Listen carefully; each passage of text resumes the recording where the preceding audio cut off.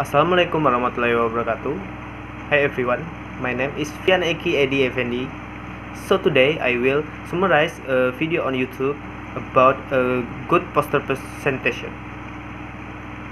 There are six rules when presenting the poster. Rules number one: Don't read your poster. Use your poster as a visual tool. Point of the graphs, point of the maps, point of the charts, and talk what you did. Rules number two Be prepared. Prepare two or three minutes of talk before the actual session, expecting certain questions such as your poster about what and what results are expected from the poster. Rules number three Great handout. You don't have to put all information on your poster. Things on your poster should be limited to what it takes to make your main point. That's all you need to do.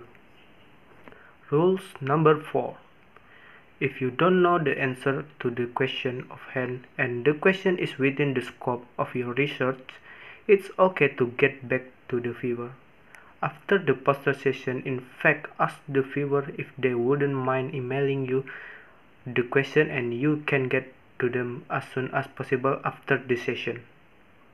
Rules number 5 If you are asked a question that is outside the scope of your job or you do not know the answer to admit it, if it's outside the scope of your job, you can open a conversation about what research could be done to answer the question.